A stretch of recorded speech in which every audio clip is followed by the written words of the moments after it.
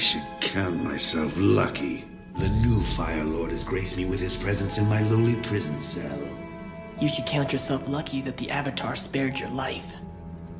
Hmm. Banishing me was the best thing you could have done for my life. It put me on the right path.